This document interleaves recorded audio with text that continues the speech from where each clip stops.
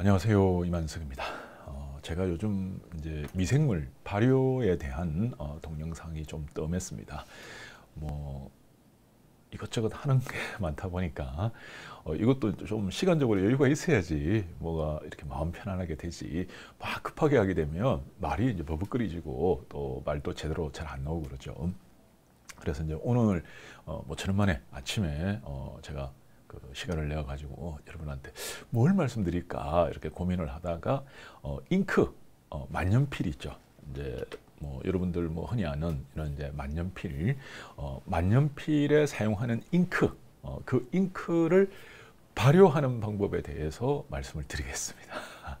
물론 이제 어, 잉크 발효 굉장히 간단합니다. 뭐 이거는 뭐 어렵다 쉽다 뭐 이렇게 말할 것도 없이 너무나 간단한 거죠. 예, 그래서 이제 고 발효하는 걸 어, 일단 제가 한번 해봤었습니다. 한 일주일 전에 이제 그걸 발효를 한번 해봤는데 어, 결과가 어, 예상보다 훨씬 더 좋습니다. 그래서 어, 오늘은 이제 구체적으로 이제 어떻게 발효하는가 어, 이런 걸 어, 말씀을 드리고 또 그 현상들 어, 이렇게 이제 발효하고 나면 뭔가 좋은 점이 있어야 되겠죠. 그래서 이제 그게 어떤 점들이 좋은가 어, 그에 대해서 말씀을 드리겠습니다. 자, 우선 이제 제가 이제 발효 잉크 이제 어떤 걸 발효했는가 그걸 먼저 한번 보여드리죠.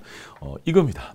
음, 요거 지금 여러분들 그 보이시는 거 이제 요게 이제 발효 잉크거든요.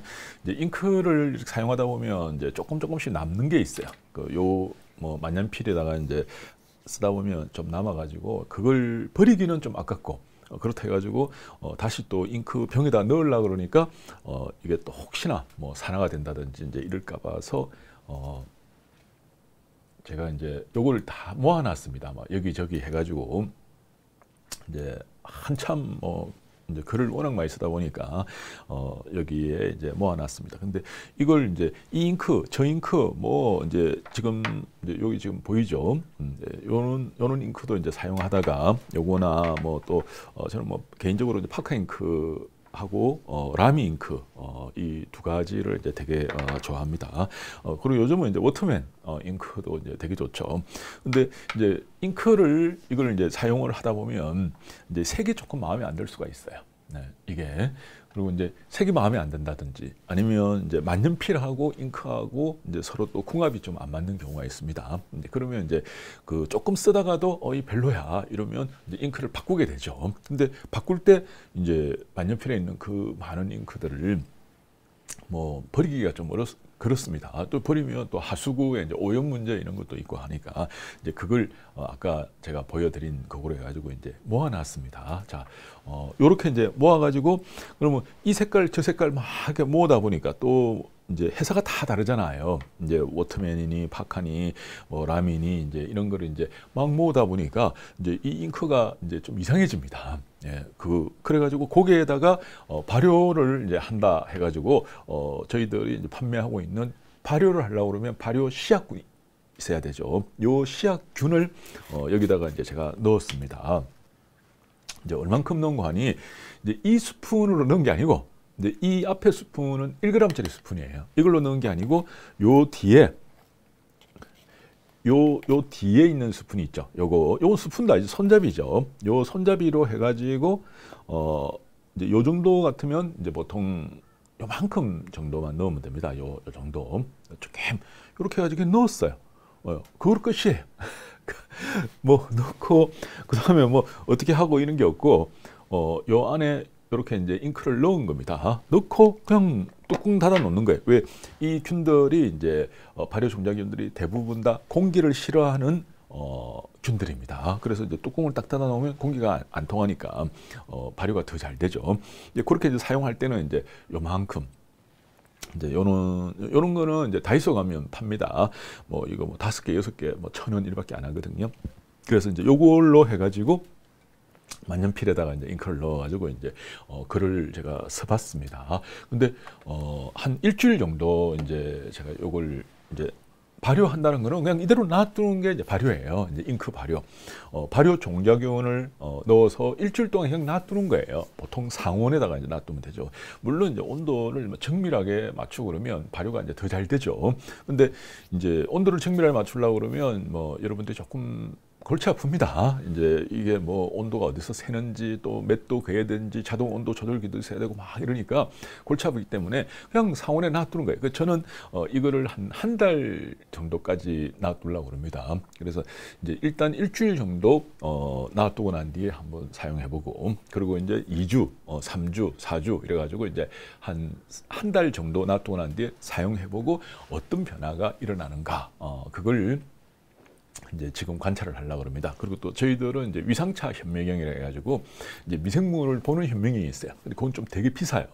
예, 그래서 이제 그 현미경 가지고 어, 미생물들의 변화, 어, 뭐 효모균들이 어, 활성화됐다, 아니면 유산균들이 활성화되었다, 아니면 뭐 다른 이제 미생물들이 활성화됐다 하는 이제 그런 걸 어, 한번 관찰을 해보려고 합니다.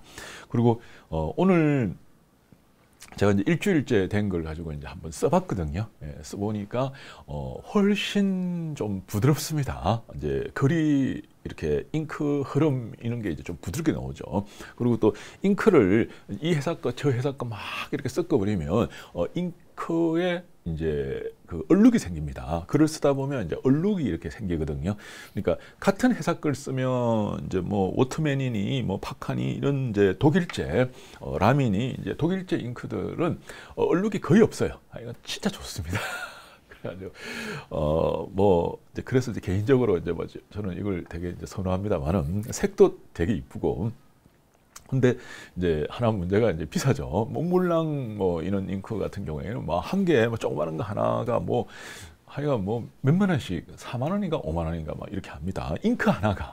그래 저는 이런 잉크 한 개 같으면 거의 뭐 한 달, 한 달 조금 더 쓰겠네. 한 달 정도면 다섯 벌이거든요. 예, 그래서 이제, 어, 뭐, 한 달에 뭐 잉크 값만 해도 뭐 이게 이제 뭐한 만 원 이 만 원 같으면 이거는 한 만 원 이제 만 몇천 원 일밖에 안 하기 때문에 뭐 큰데 근데 이제 이 독일제나 뭐 미제 뭐 이런 거 일제 뭐 일제 잉크도 굉장히 좋죠. 그래 이제 그런 잉크들은 어 뭐 이런 이제 얼룩 글을 쓰다 보면 이제 생기는 얼룩이라든지 그다음에 글을 쓰다 보면 이제 번짐 현상이 일어납니다. 왜 저는 이제 굵고 큰 글씨를 되게 좋아하거든요. 그러면 만년필 가지고 이제 굵고 크게 이렇게 이제 글을 적다 보면 이제 어 그 번짐 현상 그다음에 어 이렇게 얼룩 현상 이제 이런 게 일어나요. 그래서 어 이제 그걸 이제 없애기 위해서 어 저는 이제 발효라는 이제 발효 미생물 어 종자균 제가 이거 판매하는 회사의 대표입니다. 그래가지고 사람들이 어떤 사람이 그럽니다. 아니 발효는 이제 먹는 거에 써야 되지 왜 잉크를 발효를 하냐 어, 그러는데 이제 물론 사람 입장에서는 먹는 걸 해야 되죠. 근데 미생물 입장에서는 잉크도 지한테는 먹는 겁니다. 이 미생물은 쇠 있죠, 쇠. 쇠 덩어리도 지한테는 먹이에요. 예.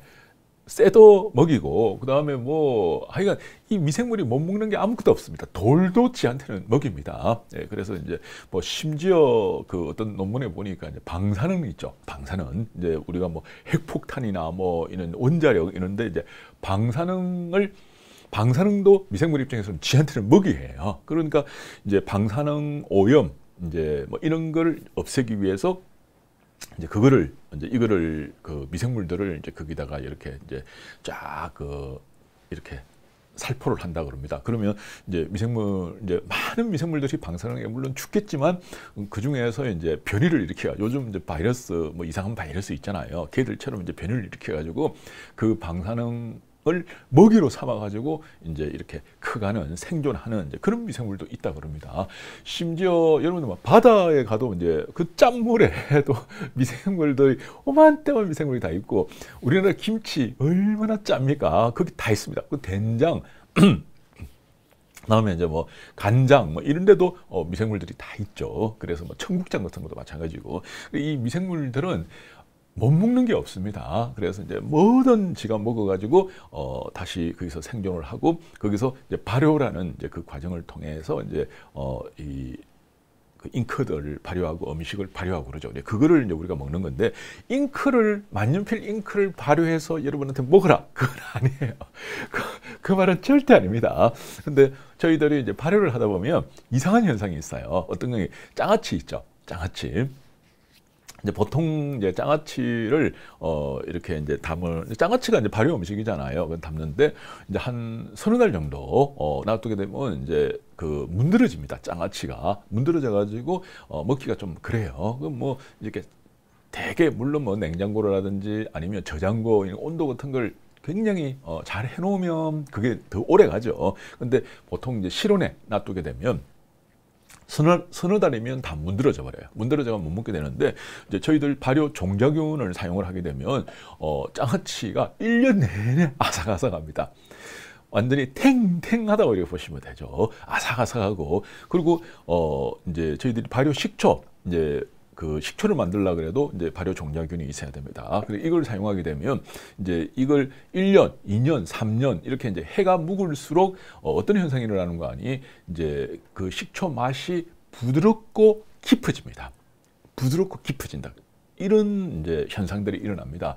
그래서 이제 발효술 같은 것도 이제 저희들이 요즘 많이 이제 실험을 하는데 이제 발효술도 어 이제 그저 시간을 오래 두게 되면 그걸 우리 숙성이라 그러잖아요. 근데 이제 그 숙성이 굉장히 빨라집니다. 이제 숙성 기간을 단축시킬 수 있는 거죠. 이 발효 종자균을 어, 사용을 하게 되면 이제 그걸 단축시키고 어, 맛이 이제 보통 뭐 예를 들어서 이제 10년 정도 숙성해야 될 것 같으면 우리 같으면 1년만 숙성해도 10년짜리 위스키 맛이 난다고 보시면 됩니다.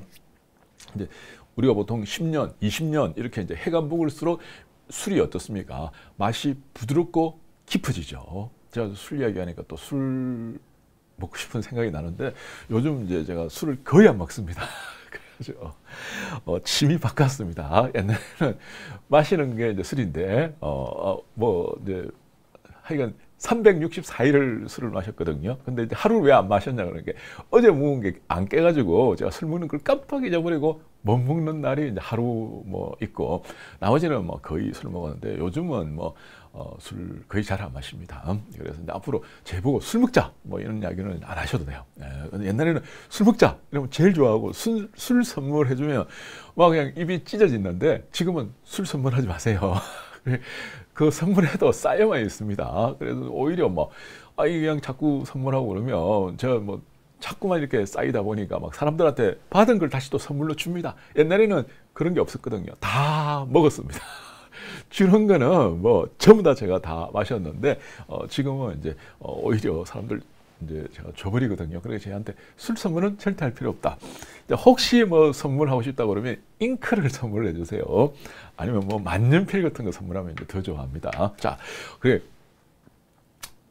그냥 뭐 우스갯소리입니다. 예, 그래서 이제 그렇게 해서 어 저희들이 이제 이거를 발효를 해보니까 어 맛이 부드럽고 깊어지다는 그걸 이제 제가 딱 착안을 해가지고 어 만년필에 한번 써보자 이럽니다. 만년필에 그러면 이제 예를 들어서 어 저희들이 이제 발효 커피 실험도 엄청나게 많이 했었습니다. 뭐 한 대충 실험 한 300회 정도 저희들이 이제 실험을 했는데 이제 굉장히 좋은 원두 억수로 비싼 원두 뭐 누가 파도 누가 들어도 이게 좋은 거야 최고야 하는 원두를 로스팅 해가지고 커피를 내리면 당연히 맛있습니다.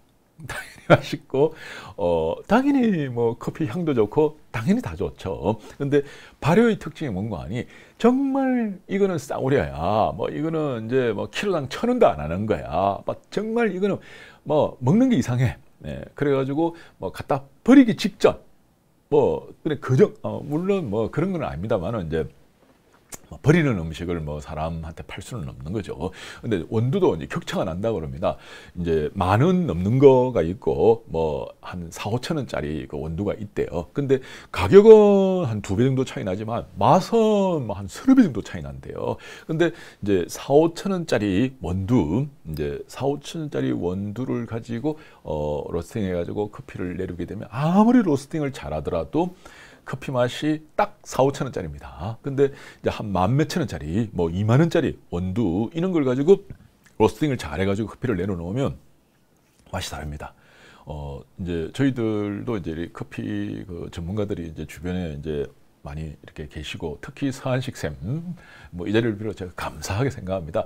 저번에 그도 억수로 맛있대요. 예, 그래서 이제 그분은 이제 원두도 물론 굉장히 좋은 걸 쓰지만 어 그 로스팅을 굉장히 낮은 온도로 로스팅을 한다 그럽니다. 그래서 어, 다른데 이렇게 커피하고는 다릅니다. 별 차원이 어, 부산에 수영 로타리에 그 저 커피숍이 있습니다. 제가 커피숍 이름을 잘 모르겠습니다. 지금, 와, 지금 이야기해가지고 선전을 해야 되는데 어, 다음번에 영상 만들 때 제가 꼭 말씀을 드리겠습니다. 자, 그리고 이제 그분 같은 경우에는 비싼 원두 가지고 어 그리고 로스팅도 이제 잘 해가지고 커피를 내리니까 당연히 맛있죠. 예, 당연히 뭐 이 저기 그 길커피하고는 비교가 안 됩니다.